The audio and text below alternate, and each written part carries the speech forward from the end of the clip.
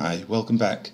In this tutorial I want to show you how to deal with another problem that sometimes occurs when you're using um, data merge InDesign um, with fit text to frame and that is that you have things that end up on two lines when you really only wanted it on one line. For instance, I want with these cards I want all the names to be on a single line. I don't want them to break over two lines like this. And likewise for the company name I also want to keep it on one line. So how do you set your data merge template up um, for use with fit text to frame so that that doesn't happen. Let's close this data merge document, go back to the template file which is over here.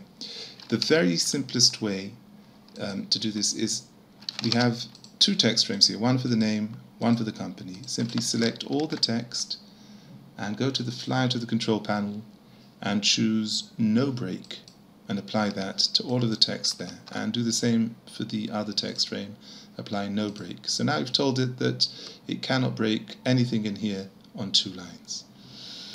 Now we can go ahead and do the data merge and again it's important to remember when you're doing data merge and you want to use fit text to frame first do the data merge and then run fit text to frame. You don't run fit text to frame on the template like this on this file. So let's go ahead and do the data merge and just click OK there.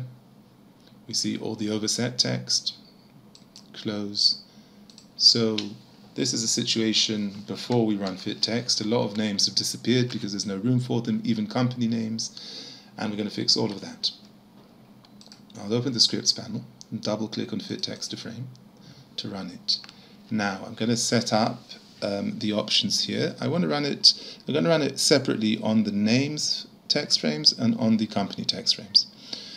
Um, so let's choose this option to target text frames by object style and I'll choose the name object style and I really only wanted to shrink the text. I want to make the names smaller if they have to be smaller. I don't want to make them larger. I don't want a name like this to be any bigger. It's fine.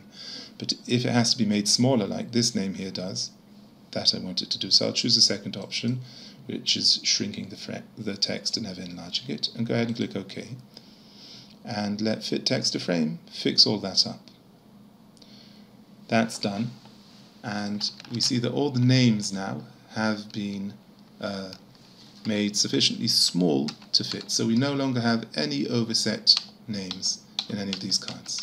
Let's go ahead and do the same with the company name double click on the script in the scripts panel to run. And this time we're going to choose company. That's the style that I applied to this text frame. Click OK. Again only shrinking the uh, the text not enlarging it at this stage.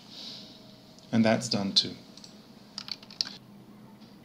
So now we see that um, all the company names are um, fit fit their frames and um, also that everything is on a single line because we applied the no break um, attribute to all the text also in the names. Here you can see that it's got that applied no break and ditto for the company names uh, no break.